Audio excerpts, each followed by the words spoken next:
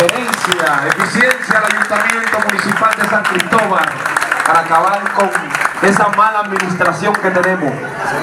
Solo en manos de un hombre que ha demostrado gerencia en toda su trayectoria de vida social, deportiva y política al servicio de la provincia de San Cristóbal. Compañeras y compañeros, miembro presidente del comité de base del comité intermedio José López de, de Madre Vieja Norte. Saludos y congratulaciones porque en medio de la lluvia de esta tarde que nos proporcionó el divino Dios, hicimos el trabajo y aquí estamos en la actividad, con Dios primero.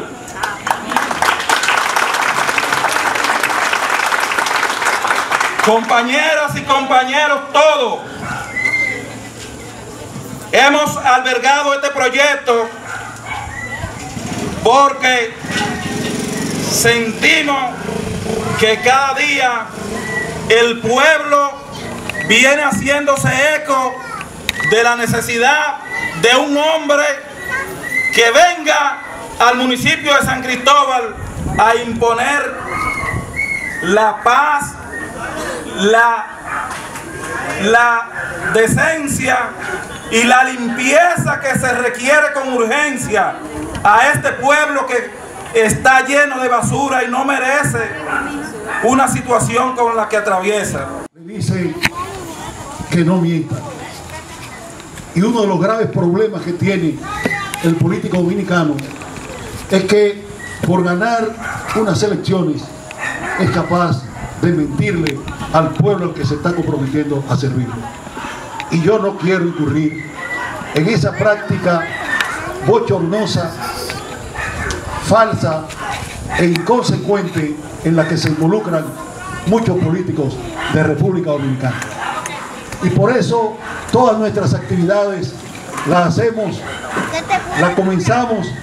con una, con una oración, porque este es un ejercicio religioso que nos compromete a nosotros ante Dios a cumplirle a los hombres y mujeres de San Cristóbal a lo que les hemos estado pidiendo que voten por nosotros porque estamos asumiendo el compromiso de modificar, de cambiar la imagen que está desacreditando al pueblo de San Cristóbal.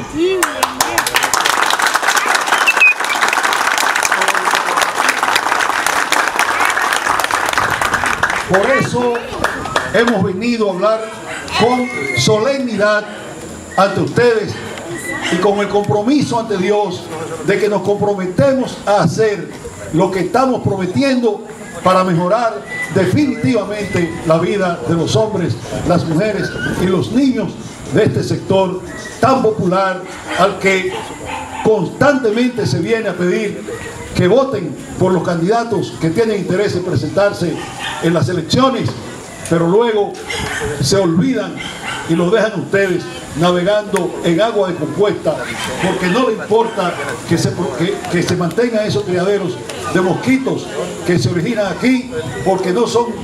familias de ellos, no son hijos de ellos, ni nietos de ellos, los niños que pueden enfermarse por la acumulación de aguas negras aquí porque aquí no se ha preocupado nadie por el alcantarillado pluvial para sacar las aguas que se acumulan en la calle de este sector, aún cuando está tan cerca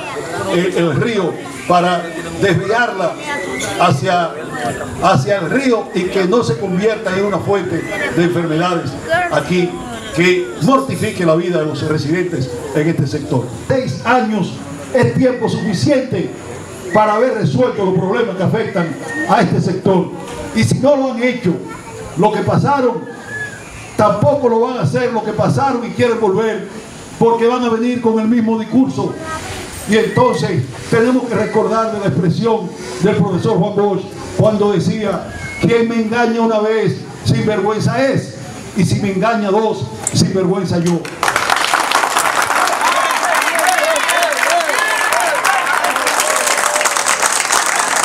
Y cualquier político pudiera pensar que los hombres y las mujeres que residen aquí son pobres, son ciudadanos humildes, pero sin vergüenza no.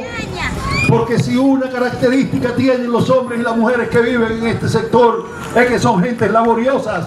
que viven con dignidad a pesar del esfuerzo que han hecho los dislocados funcionarios que ha tenido el ayuntamiento del municipio de San Cristóbal y que le ha impedido por falta de visión prestarle atención a todos ustedes.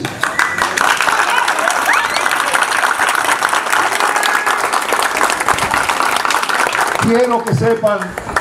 quiero que sepan que esa situación llegará a su fin el próximo 16 de agosto del 2016, a partir del momento en que nos juramentemos como alcalde del municipio de San Cristóbal,